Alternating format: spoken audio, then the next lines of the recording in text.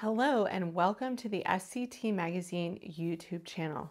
I'm Meghann Andrew and today I'm going to be sharing a beautiful wedding card that I created using products from Gina K Designs.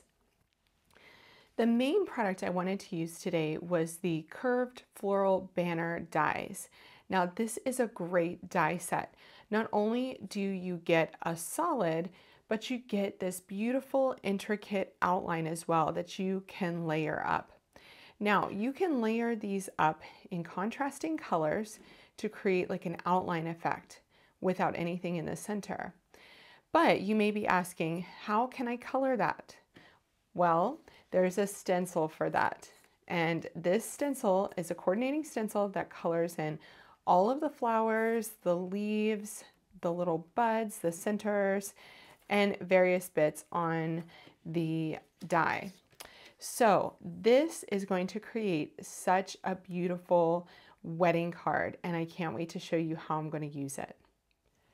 On my work surface, I have my Picket Fence Studios paper inking palette, which uh, will allow my die cut to stick to my surface while I ink it up.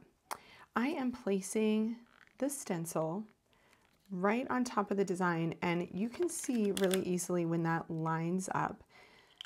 Okay, I am starting off with Gina K Designs Innocent Pink and I am just going to use my mini Gina K blending brush and blend these flowers and I'm going to go a little bit darker in the center and lighter out toward the edges. I do want this to be a softer card because it is for a wedding. So soft and pretty is what we're going for today. I also love that this pink has a little bit of peach in it too. I just washed my paper inking palette. How pretty is that? And so I want, it's nice and sticky and I want to make sure that I don't tear anything when I move things off of it. Okay, for this one, I'm going to go in with Dusty Rose. I'm just going to cut those stickers on my ink cube here. I just want a tiny bit more of a darker pink for these berries. And I really like Dusty Rose for this. Now it's time to do our leaves, to blend those in. And so before I press it down, I am just trying to get it all nicely lined up and that looks great. I don't really worry about cleaning off my stencil, but I just don't want to get the green and the red. So I'm going to wipe off that edge. And I'm going to grab Jelly Bean Green for this one. Again, cutting off the stickers on your cubes. The easiest way to get those open is to cut them with a blade instead of trying to pull off those stickers. Okay.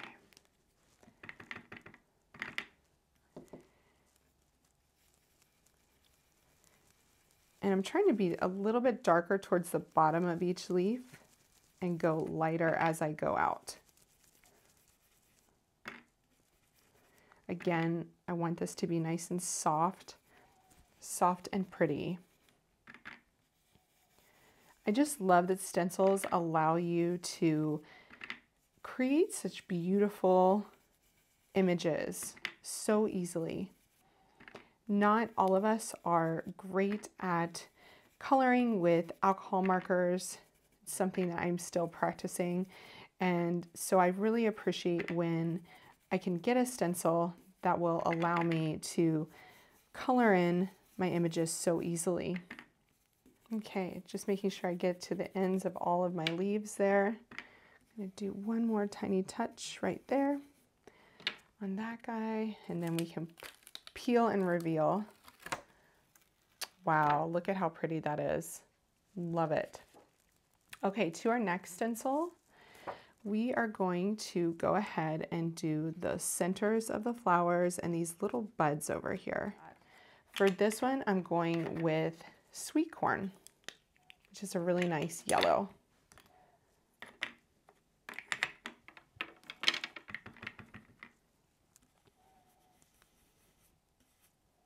Really only had to touch that the tiniest bit.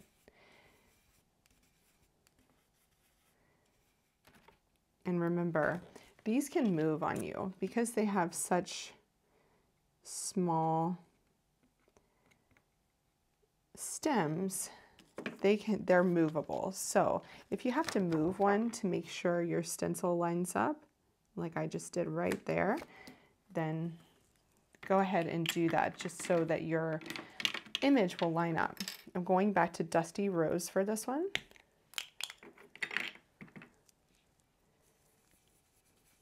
Just making those a little bit darker.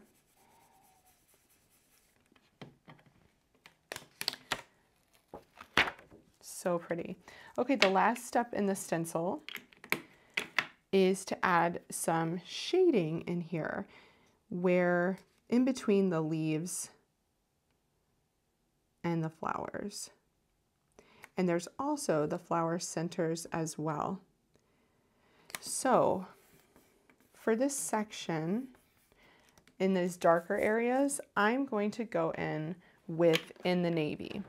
And that's because I want to use in the navy on my card. And this I'm going to use a light touch as well because this is a nice dark color. It's going to add just that little bit of shading.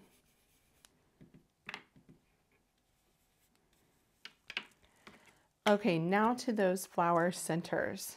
I'm going to wipe off a little bit of my in the navy so that I don't get any navy on the center of my flowers.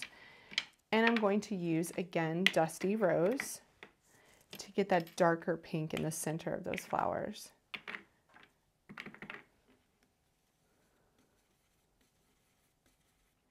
Okay, so let's peel and reveal.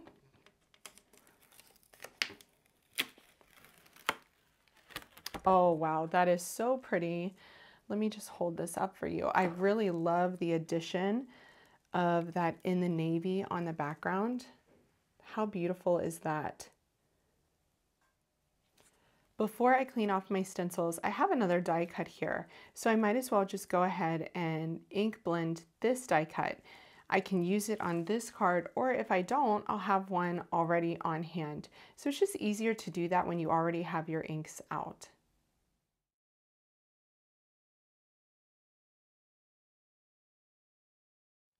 You could stop here and just use this die cut. But I love the added dimension that the outline brings when you place it on top. So I'm going to go ahead and use my fine tip glue bottle from Gina K Designs and add some glue to the back of this die cut. Now this is a little finicky, but it is worth it to get this beautiful, delicate look of this die cut over your ink blending. picking up the die cut and getting it in place with your fingers is always a great way. And with liquid adhesive, you have that little bit of wiggle time to get everything perfectly in place. It definitely gives it a softer feel with that die cut added to the top. So I'm going to do the same on the second one too.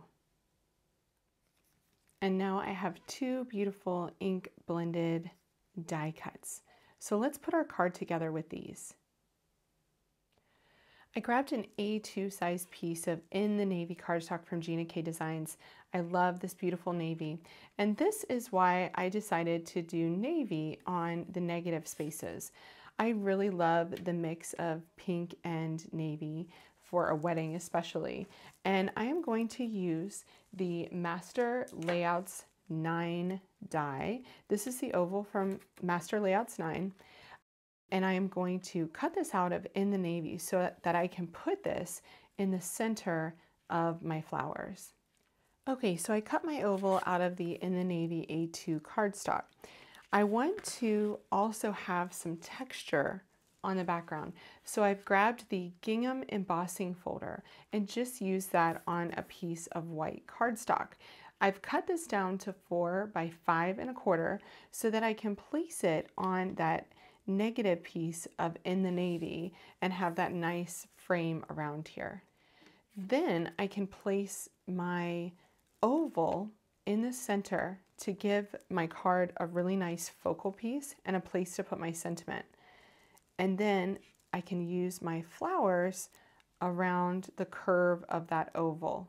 Before I adhere my oval down, I want to add my sentiment to it, but I want to get everything lined up perfectly so that I know my flowers aren't going to cover it. To do this, I'm going to grab my MISTI and place it here on the edge. I'm going to place my floral die cut here. Just move this up a tiny bit and place my die cut here. Want to try to make sure that that oval is in the center and you can kind of gauge that from the gingham pattern in the background. I might leave a little bit more space down here for these flowers. And then I am grabbing the beautiful Ornate Spring stamp set. I love this stamp set because of the gorgeous sentiments. Congrats to you, with love, birthday wishes, hello lovely, and thinking of you. But there's also some really beautiful stamped images on there too. But this congratulations to you is perfect for a wedding card and I love how it fits just nicely above that flower.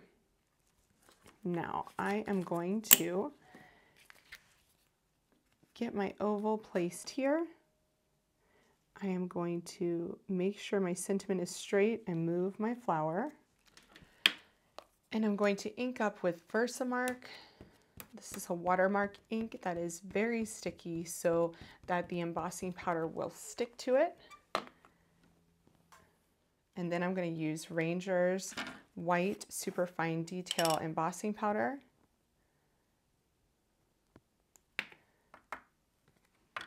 Just to that. And I can use a brush to get any of that embossing powder off.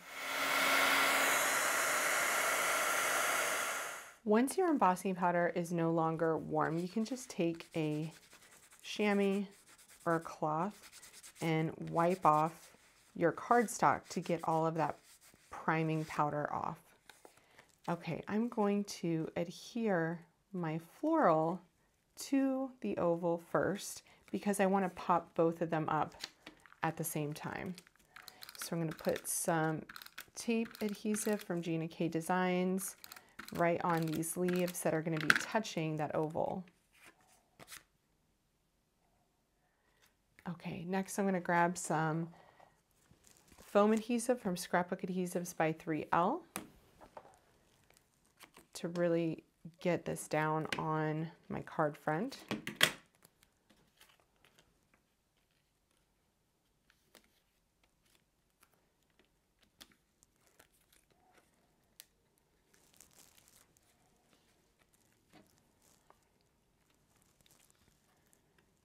We can hold it over the front of the card. Just trying to make sure that we get that oval in the center. Here I have the Gina K Designs Angel Aura Rhinestones. These are extremely beautiful, perfect for a wedding card. Look at how those shine. So these are faceted on the top so that you can put the flat side onto your card. They would also be great for a shaker card too. And I'd like to put quite a few on. I think I'm going to do nine. Nice uneven number. I like to place my glue dots first just so I get an idea of where everything is going to go. And then I can place the rhinestones. So, so pretty. Look how that sparkles. I love it. I love this beautiful, versatile die set with stencil. It is wonderful for all different card occasions, but especially beautiful for a wedding card. Thanks so much for watching as I created this wedding card using products from Gina K Designs today.